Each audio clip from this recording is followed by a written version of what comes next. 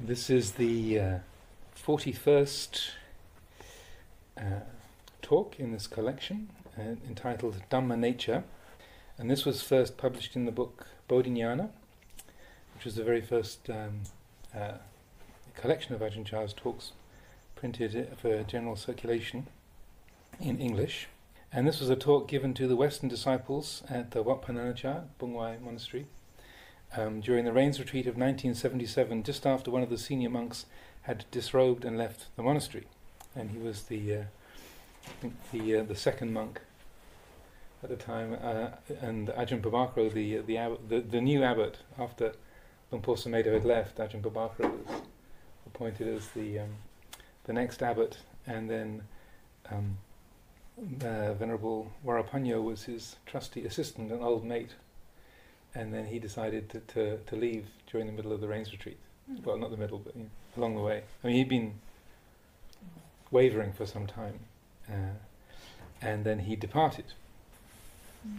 He'd actually been trying to disrobe before the uh, the rains retreat began, and was sort of all ready with his little tray of offerings of candles and flowers and incense. And, and Ajahn Chah came to um, when Ajahn Chah came to visit, and he always managed to conspire to not actually see him.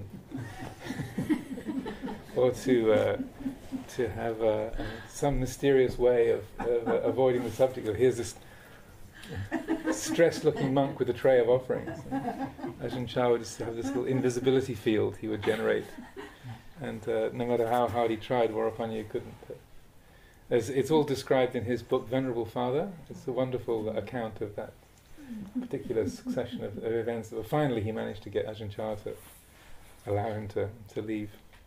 So this this was a talk given at Wat Pah Nanachat just after that time, after he'd after he had left, and there was some stress in the community, particularly um, the uh, the abbot uh, Ajahn Pabhakaro was taking it a bit bit hard that his old buddy had walked out on him,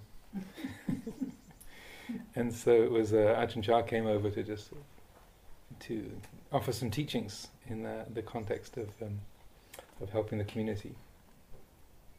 So this is the 41st talk called the Dhamma Nature. Sometimes, when a fruit tree is in bloom, a breeze stirs and scatters blossoms to the ground. Some buds remain and grow into small green fruit. A wind blows, and some of them too fall. Still others may become fruit or nearly ripe, or some even fully ripe before they fall. And so it is with people. Like flowers and fruit in the wind, they too fall in different stages of life. Some people die while still in the womb, others within only a few days after birth. Some people live for a few years and then die, never having reached maturity. Men and women die in their youth, still others reach a ripe old age before they die. When reflecting upon people, consider the nature of fruit in the wind. Both are very uncertain. This uncertain nature of things can also be seen in monastic life. Some people come to the monastery intending to ordain, but change their minds and leave some with heads already shaved. Others are, others are already novices, then they decide to leave. Some ordain for only one rains retreat, then disrobe, just like fruit in the wind, all very uncertain. Our minds are also similar.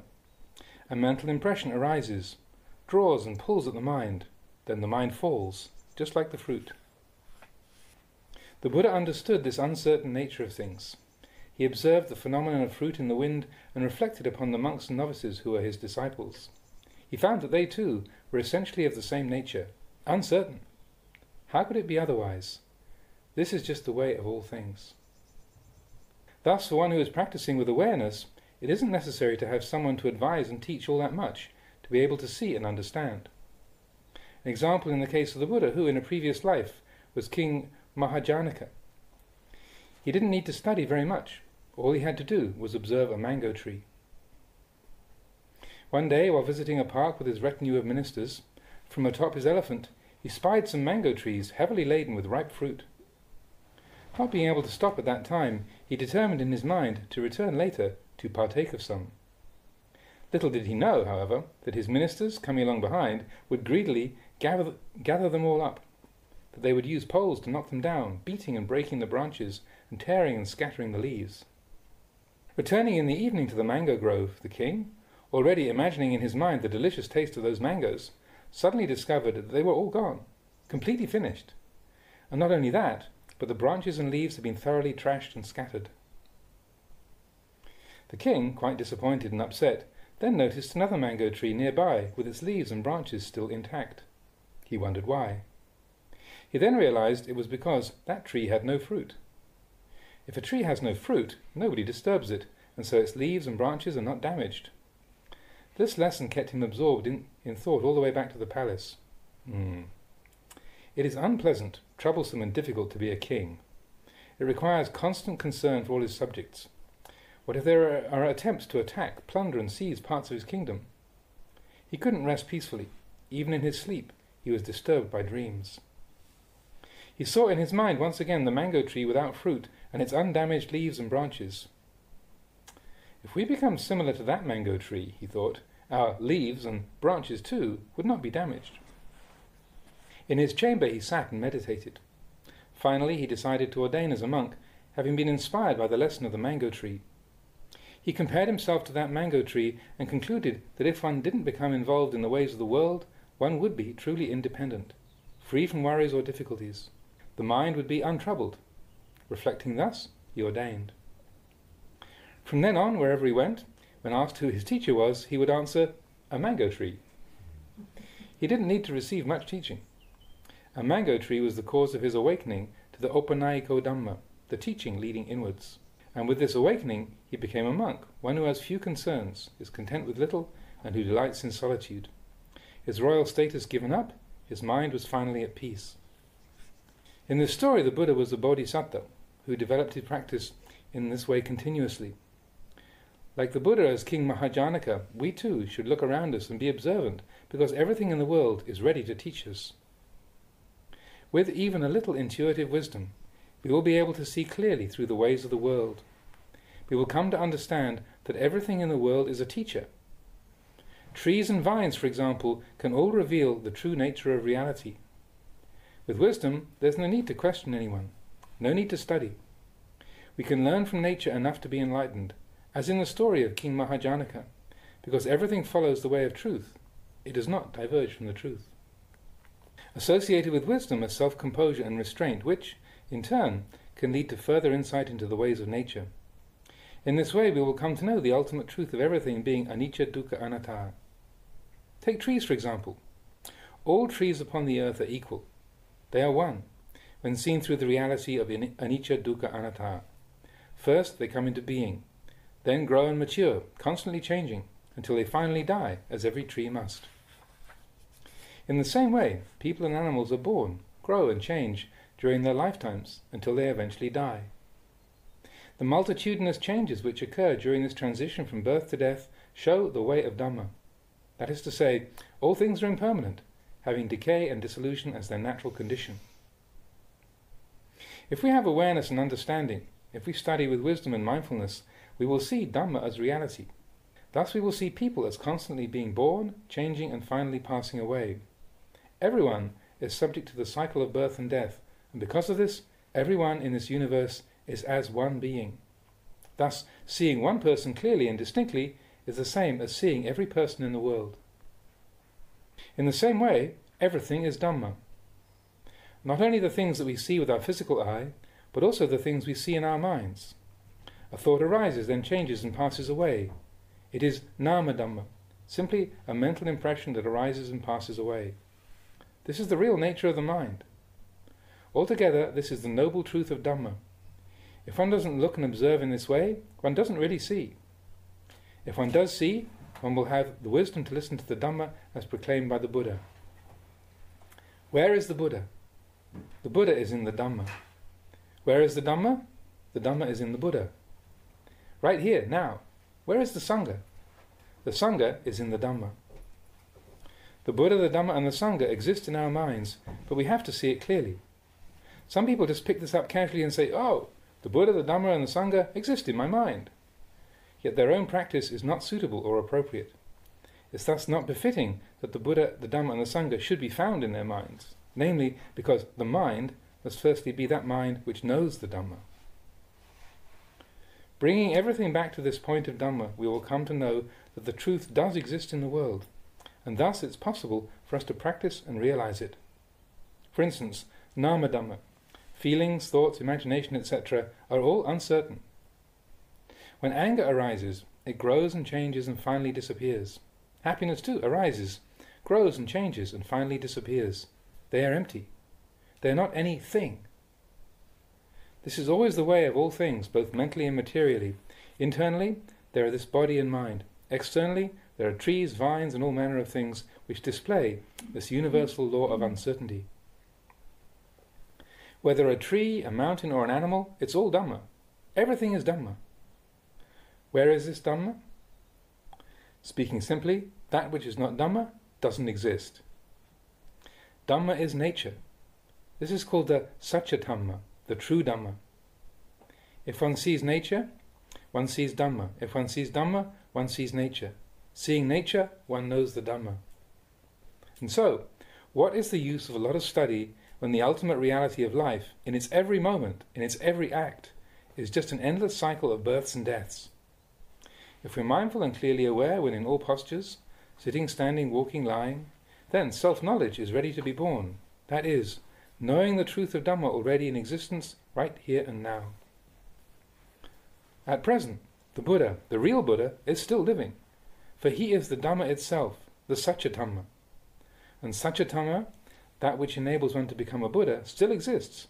It hasn't fled anywhere. It gives rise to two Buddhas, one in body and the other in mind.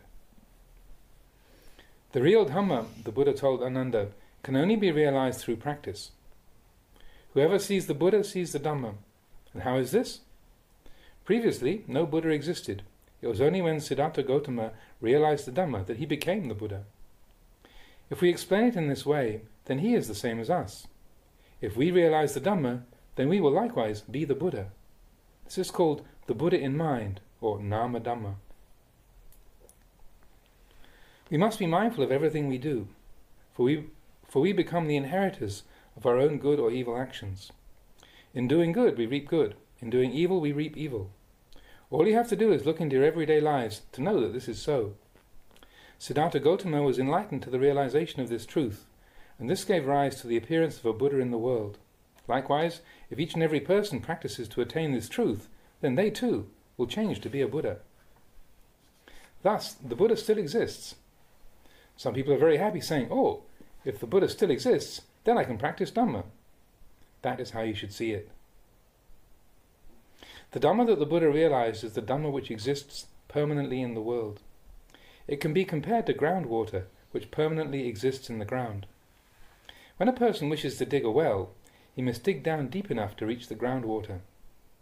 The groundwater is already there. He doesn't create the water, he just discovers it.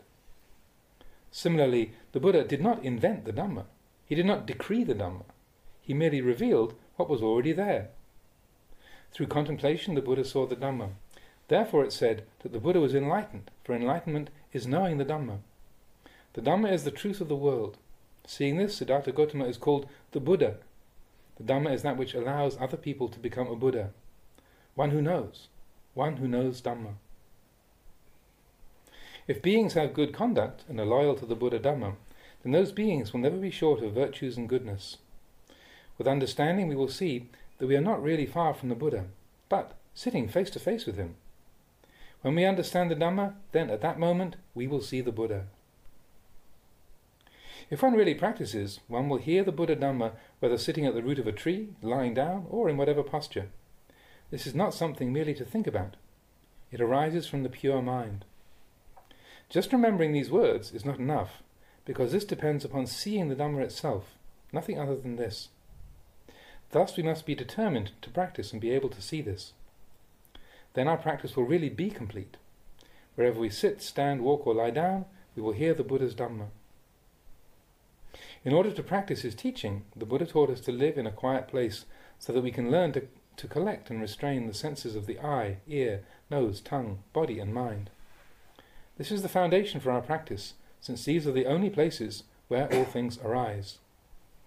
Thus we collect and restrain these six senses in order to know the conditions that arise there. All good and evil arise through these six senses. They are the predominant faculties in the body. The eye is predominant in seeing, the ear in hearing, the nose in smelling, the tongue in tasting, the body in, in contacting hot, cold, hard, and soft, and the mind in the arising of mental impressions. All that remains for us to do is to build our practice around these points.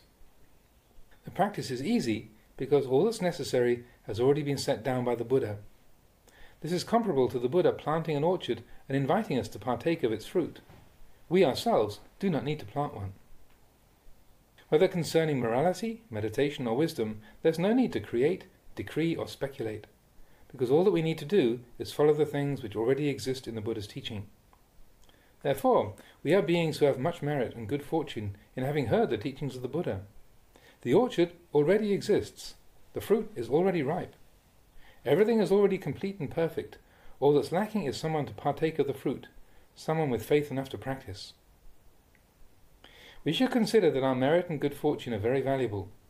All we need to do is look around to see how much other creatures are possessed of ill fortune. Take dogs, pigs, snakes, and other creatures, for example. They have no chance to study Dhamma, no chance to know Dhamma, no chance to practice Dhamma.